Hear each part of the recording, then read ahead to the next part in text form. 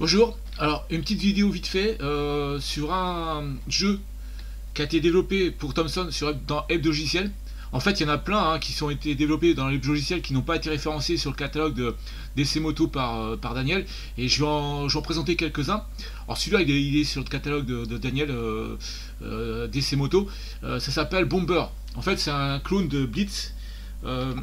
Blitz qui est un jeu de shoot up euh, où on, doit. Euh, on on un avion qui passe en haut et puis qui, descend au fur et à mesure et qui largue des bombes.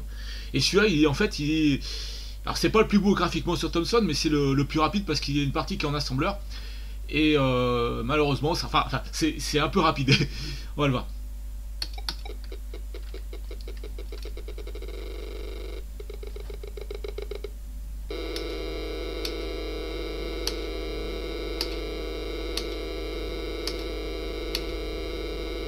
Ah. Vous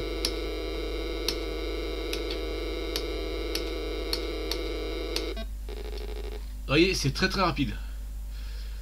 par contre, le parachute il descend lentement, bien sûr. C'est. Euh, je vais en faire une autre partie là. Euh, je vais mettre oui. Alors je mets.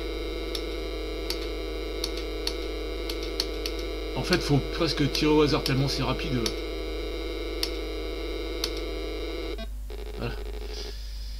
Voilà, c'est trop trop rapide. donc c'était euh, c'est un jeu qui est donc logiciel 94, euh, je crois que c'est 1985. Il y en a eu d'autres des, jeux de ce genre-là sur d'autres plateformes. Et sur Thomson, il y en a eu quelques-uns. Il y a eu notamment euh, Nightfall, Night Flight, etc. Donc voilà, vous avez les infos sur le texte YouTube hein, pour télécharger le jeu. Euh, c'est que sur Emo 5 Emo 6 parce que la partie assembleur elle est en, Emo la partie basique c'est pour tous les Thomson hein, mais la partie assembleur c'est pour Emo donc voilà je vous, ai fait découvrir ça. Euh, il y, aura d'autres jeux euh, logiciels que je vais vous faire découvrir. Il y en a, y en a pas mal des, de très bonne qualité hein.